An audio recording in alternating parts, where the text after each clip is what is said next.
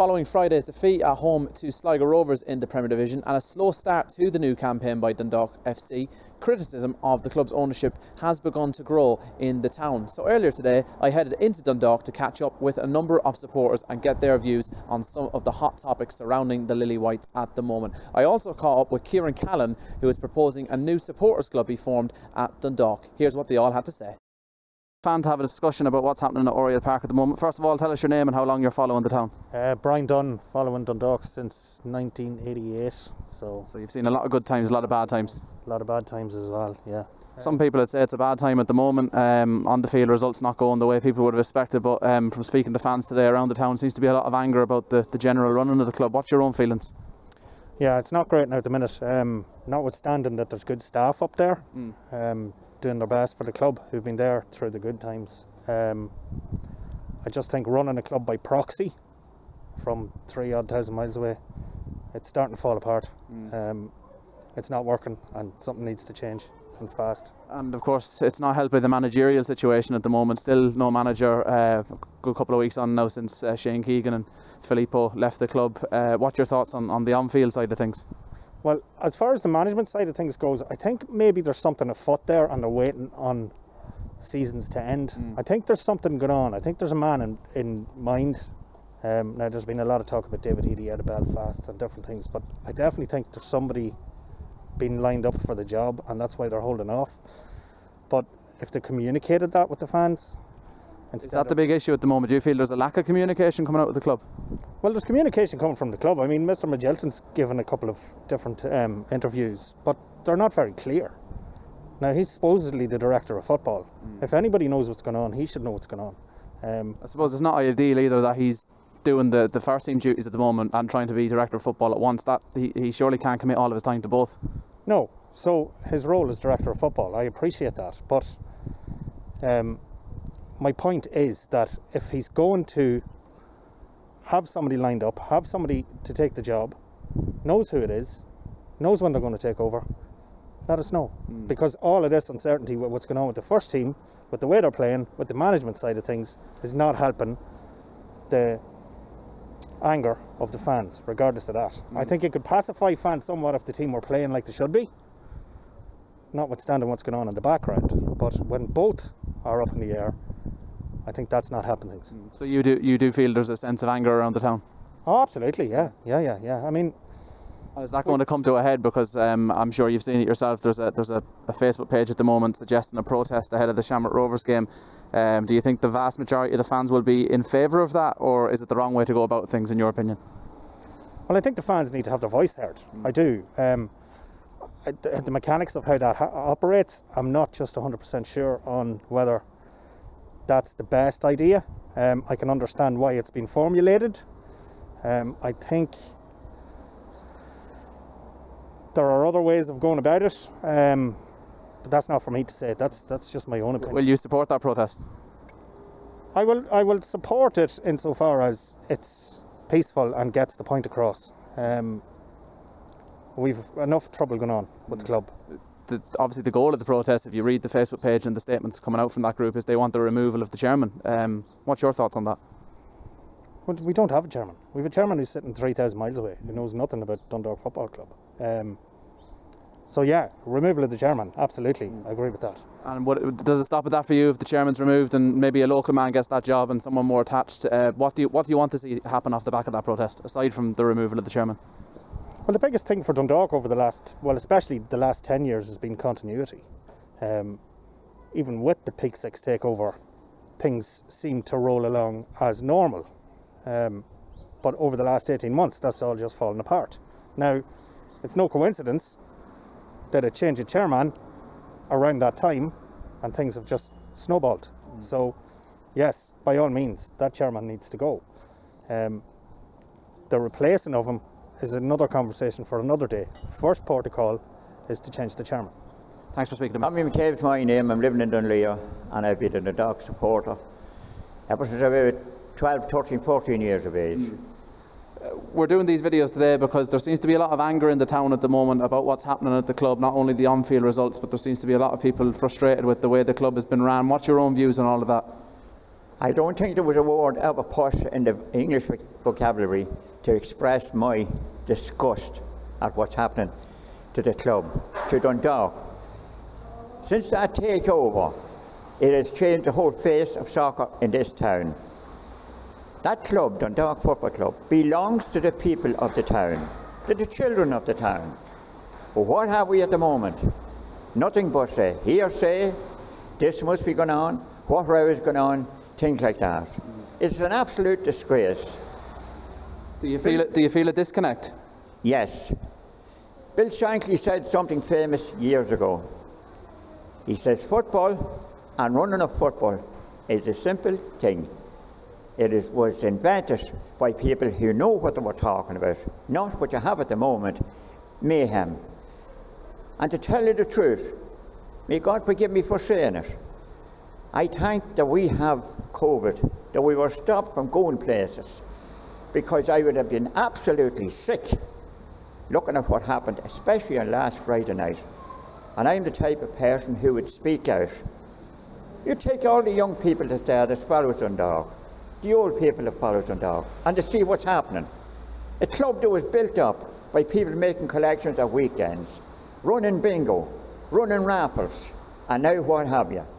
Money came into the club, but it destroyed it. And what you have is you're looking at five players, extra dog players, playing with new clubs. What happened there? Were they offered any money? They got foreign players in, and I have to say, what I've seen on the television, there was five players last Friday night in Oriel Park. They haven't a clue about football. My advice, stop it before it gets out of hand completely. Money was spent on the players. This is what we're reading about. But what was spent on the grounds? What coverage have you? You have people that have followed Dundalk for years, standing on the terrace on the east side of the main stand. And there's seats there. What have you? No covering. And I was there last year, the, uh, the European matches, and I had to sit down on the seats, and there was people and they had umbrellas. I was soaking. Wasn't long out of hospital and I started shivering and I went down and I went to the toilet and I was standing right along the main stand. And there was two men there in yellow coats and said to me, you can't stop, stand here. I said, but I don't feel the best. Well, he says, we'll have to leave. They were standing there. What was wrong with that? Then you have the far side of the ground. And it's great to see the young people that's there. Now I'm referring to the shed side. The shed side should be shifted from there and put behind, and we stand behind the town goals. The reason? They put off them flares uh, when the people who are broadcasting the matches, televising the matches, and it's an absolute disgrace. And I was there two years ago at a European match, and I had to stand up to see what was happening down at the town goals. I was supposed to be sitting, and there was an old woman said to the young, young lads, Look, lads, will you sit down? And the language they used at that woman was out of order. To me, that's not true Dundalk support. It is not true. But something has to be done. Otherwise, we may forget about it. And if we'll tell you something, the ramifications for soccer and football in this town is going to suffer badly because what I seen on Friday night, you could go to the Summer League and you could pick players who want to play for the town. The tactics are all wrong. Backing putting the ball back to the keeper, going out to the back to the keeper, and then he kicks it away. Whereas you get it out of your own area. There was something that I learned years ago. Listen to a man talking about supper. He says, You play football in the opponent's half, not in your own half. And until that changes, I'm not a manager. I didn't do a course. I haven't got these uh, certificates. But the man that we had, that was over the team for the cup final last year, hasn't got the certificates, but he has the knowledge. So forget about what you're doing at the moment. If you really care about soccer in this town, change it. Change it for the better. I'm here with Dundalk FC fan Jay McKeown. Jay, tell us first of all, how long are you supporting Dundalk FC? it's all my life. It's just one of them things. I can't remember not being a Dundalk fan, so it's it's ingrained in me, and it's traditionally something my family's always done as well. It was handed down. Hmm. And uh, I know after the game on Friday night, you had quite an impassionate um, speech up on your social media, and it was picked up by a few different kind of Dundalk accounts and stuff. And that's why I wanted to speak to you today. Um, aside from obviously the poor results on the field at the moment, you feel that maybe there's a disconnect in the community between the club and the fan base. Why do you think that is? Well, first and foremost, I mean, we have to go back to the reason why we are so successful the last number of years is because every Dundalk fan was on board with the club. The club, the players, the backroom staff were all pulling in one direction. It seems to me that since, not necessarily Peak Six, but since our current chairman was installed, that that connection has been diluted. Its importance wasn't isn't being valued as it should be or as it was, and the reason behind it only only Bill can probably answer that. I couldn't. I couldn't tell you Well, why. in in credit to Bill, he did do a, an interview last week with James Rogers. Uh, I'm sure you listened to it. What was your immediate reaction to that? Were you pleased he came out and spoke, or were you unconvinced by some of his answers? It it was meaningless. I mean, he, he's done that to hopefully deflect the criticism, but I, I just I'm not buying into it. I can't. Not with the way things are being run. I can't.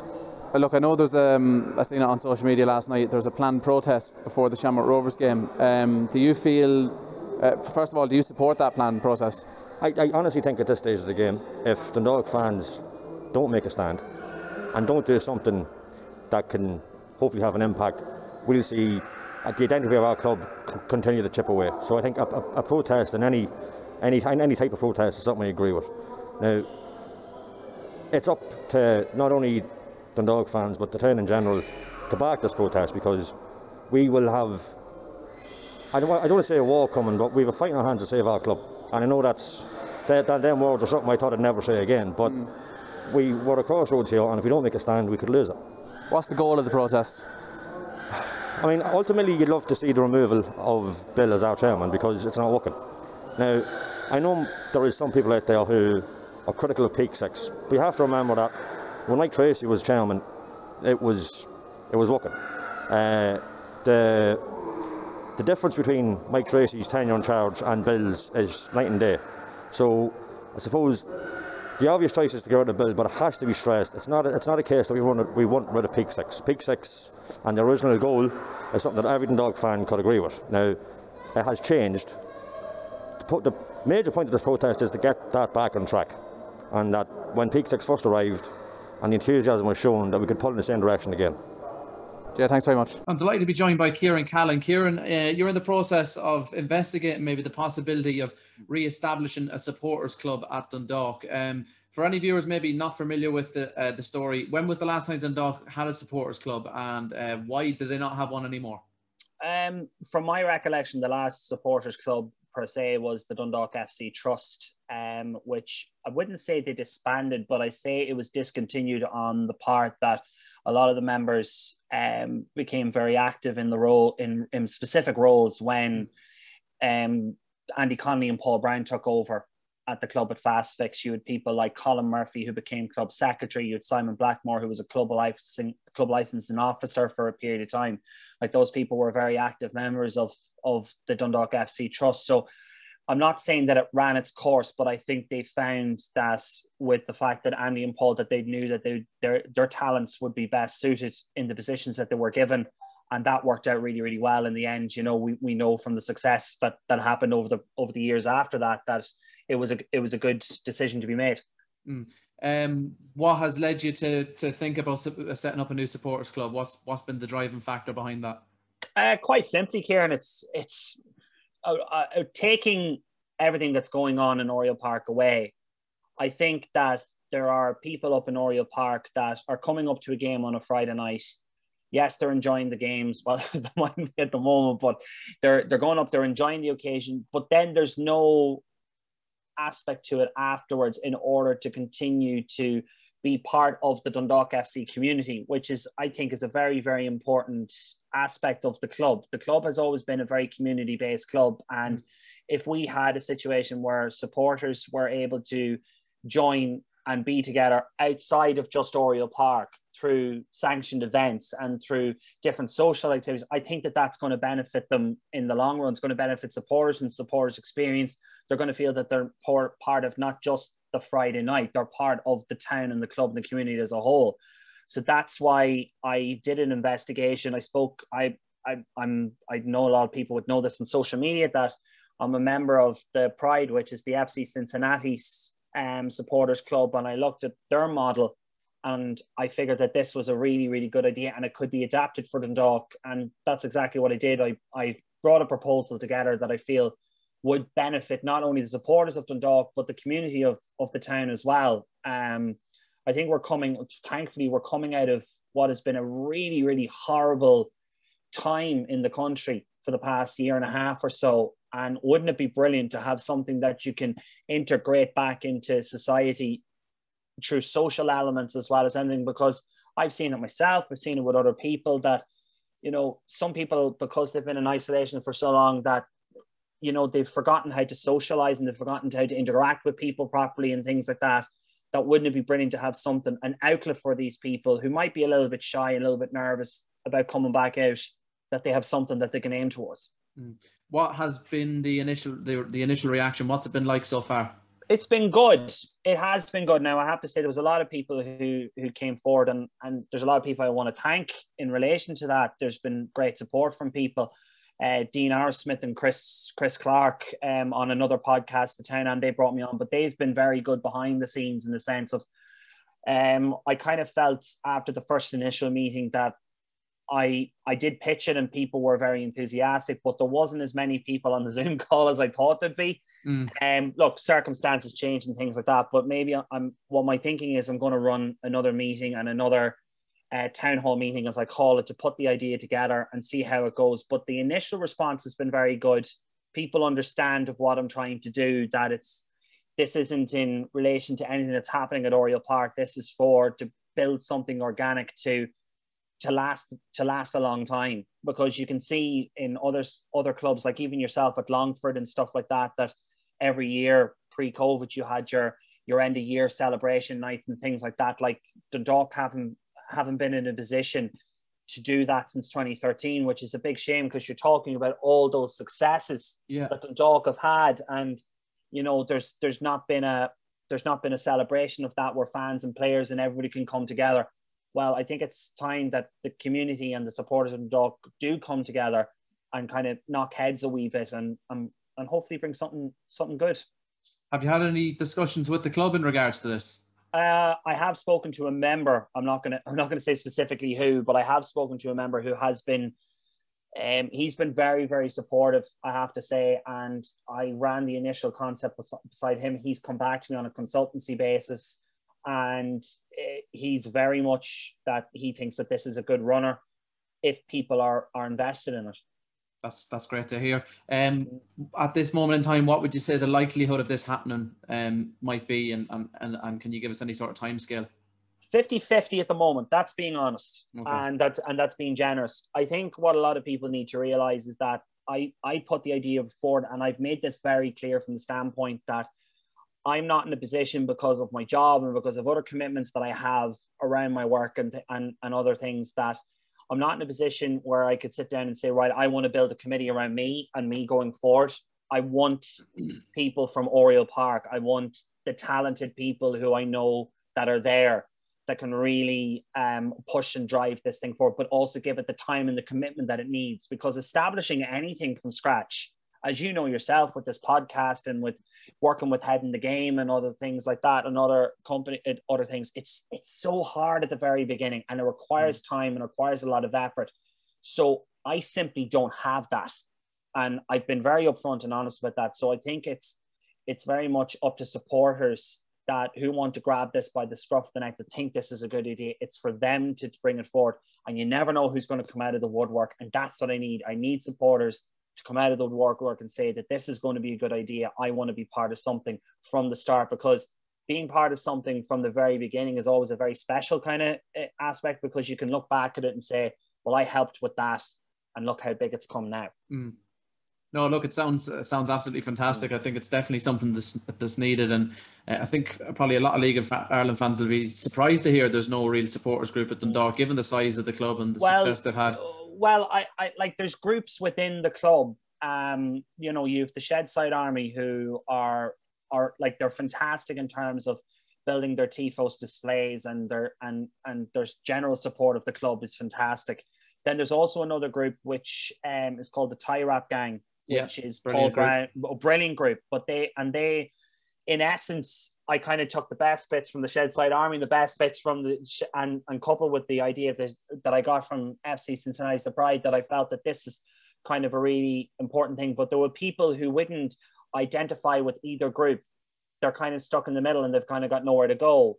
This is aimed at them if that makes sense. And, and I, I suppose those two groups as well, um, as you said, the shed side is more atmosphere on match day. Mm. That's their kind of goal to generate that. And uh, I know the other lads do a lot of fundraising and other yeah. things, but neither have kind of, um, I suppose, a voice in terms of the way the club has been ran. I'm sure hmm. uh, if there was a unified supporters group like you're suggesting, yeah. maybe with everything that's going on now, there could be a bit more dialogue between the club and the main, if there was a main supporters group.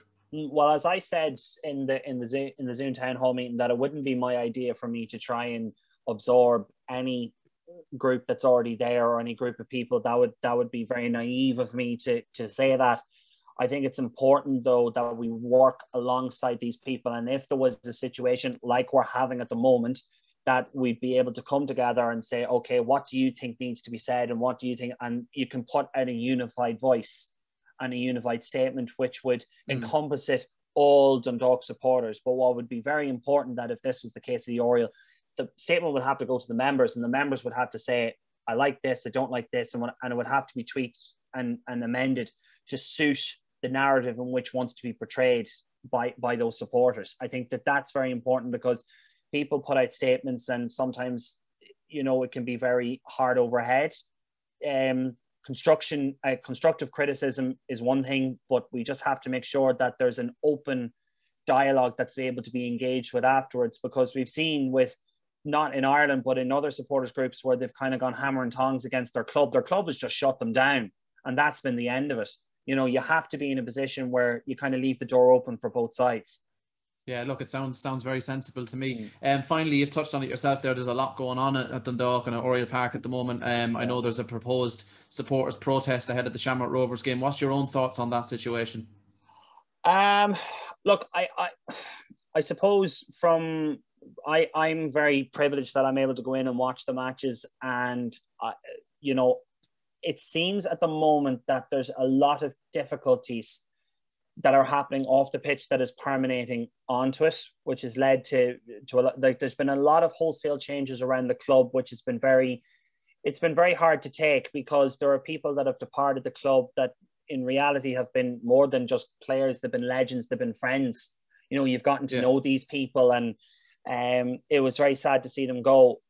I understand fans' frustration and I understand fans' anger because at the moment they're not able to go into the ground and show their displeasure of what's going on. They're mm not able to voice in the shed or in the stand. And this seems to be their only outlet. I completely sympathize with them. I just hope that it is what what they want it to be, that it's constructive, that it outlines their position, um, and that in reality it doesn't do anything that's going to harm what's happening on the pitch. We saw um, what happened between Manchester United and Liverpool. Now I understand that that's a completely, but the Man United fans coming in and, and going onto the pitch and things like that, that led to a fixture postponement, as we know. But you don't know what kind of fines that brought as well. And you don't know what kind of punishments that could lead down the line. And it's just very important the fans are aware that we don't want the club um, punished on the field for actions that happen off it, if that makes sense. Yeah. I'm all for people exercising the right to be voiceful and to have a voice and to say that they're displeased with things that are going on. However, we just need to do it in the way that Dundalk people have done it time and time again in a good way and in a positive way and to ensure that it's for the best of the club. Yeah, no, I have to echo those sentiments. Uh, Ciaran, been brilliant speaking with you this evening. No um, want to wish you the very best luck with the, the, looking into the supporters club, and um, I'm sure we'll speak about it again down the line, and, and we'll see how, how things are coming along. No problem, Kieran. Anytime.